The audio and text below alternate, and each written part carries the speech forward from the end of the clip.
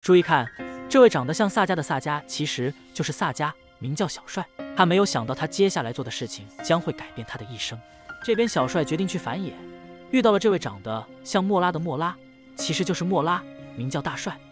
小帅以为可以轻松击倒大帅，不出意外的话要出意外了，直接徐志摩立马就领了盒饭。这边看到这位长得像叶娜的叶娜，其实就是叶娜，名叫小美，直接上他就像徐志摩一样渣，嗯，押韵。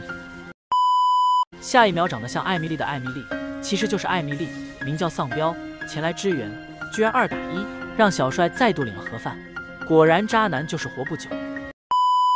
还记得有一次小帅问丧彪三加二等于多少，他回四加一。小帅问他为什么不直接说五，他回答年轻人不讲武的。最后跟大家说一件事实，两件八十。